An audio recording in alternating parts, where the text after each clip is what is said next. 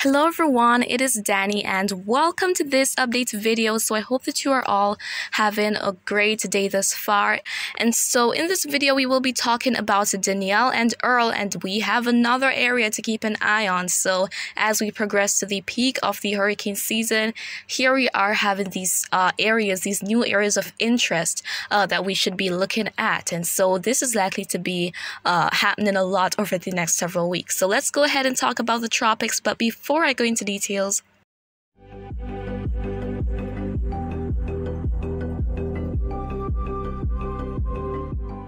Okay, so starting out with a view of the Atlantic. So there we have Danielle well to the west of the Azores, and we have Earl that is making its way north of the eastern Caribbean right now, but it is bringing some impacts. And so let's start off with Danielle. And so we're seeing that on satellite.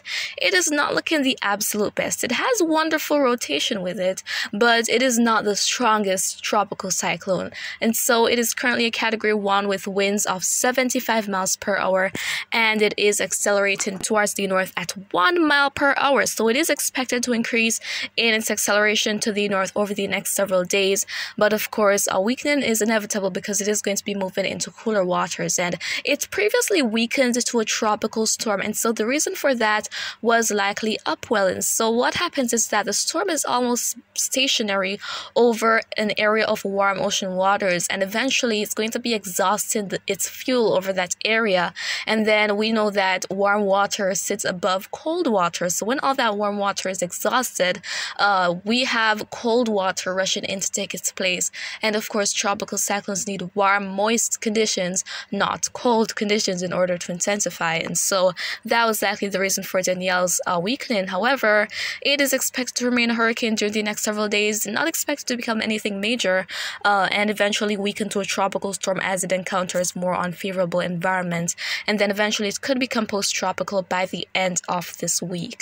So that is it for Danielle. And then moving on to Earl. So we are taking a look at satellites of the uh, cyclone here, and we are seeing that it is it is compact and it is just north of the northeastern Caribbean.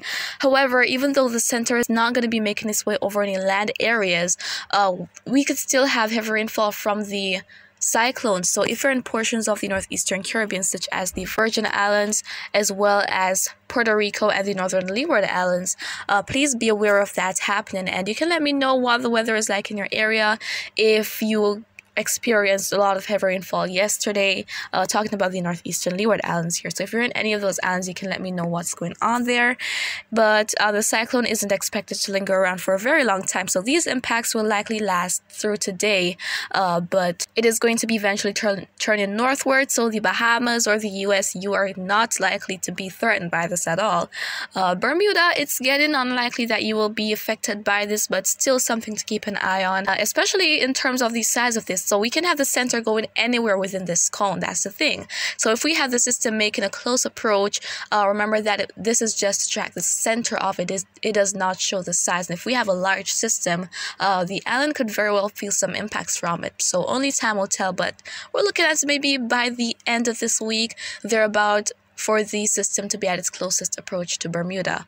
But it is expected to intensify into a hurricane by Thursday, and thankfully, as I said, it is not going to be a threat to land. All right, now let's go ahead and talk about what the models are showing. So, the model intensity guidance here shows that uh, most of them are showing that maybe after the next, say, 72 hours, that is going to be the time when we have Earl intensifying into a hurricane, which seems likely, and some even take this up to be in a category 3 or cat 4 before. So once the uh, conditions are right out there, there is no doubt that that could happen. And uh, we've seen a lot of fish storms being very major out there. I mean, Sam of last year was a prime example of that happening. So Sam was almost a Category 5 hurricane. It had peak winds of 155 miles per hour. It was the strongest storm of the season, and it was a fish storm. But again, Earl is likely to bring some increased rainfall that could result in flash flooding across sections of the northeastern Caribbean. And this imagery here of the key messages state that heavy rainfall from Earl is expected to lead to limited flash, urban, and small stream flooding impacts over the Leeward Islands, U.S. and British Virgin Islands, and Puerto Rico today. Rapid rises on rivers and mudslides in areas of steep terrain are possible in Puerto Rico. And the second pointer states that Earl is forecast to pass to the north of the Virgin Islands and Puerto Rico today, and gusty winds, especially in squalls, are possible on those islands, I guess that should say.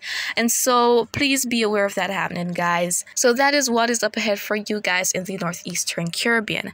And so let's go ahead and take a look at what conditions are looking like. But before we do that, let's go ahead and talk about this area right here.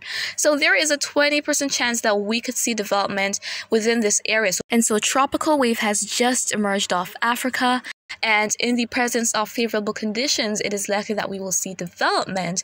And uh, I mean, it is September, as I said, this is not surprising, and we need to be watching the main development region for these tropical waves moving off Africa and straight into a favorable environment, and that would enable them to develop. And in terms of them being a threat to land, especially the Caribbean, uh, the high pressure, the Bermuda high is going to be influencing the path.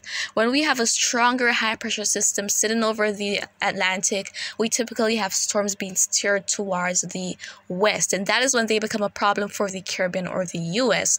Meanwhile, a weaker high pressure system uh, enables the storms to kind of curve around them because, again, they're not so strong, and these highs are really blocks to tropical tropical cyclone. So once we have a weaker high, the system is going to be able to curve around it. So we typically have that northwestward track.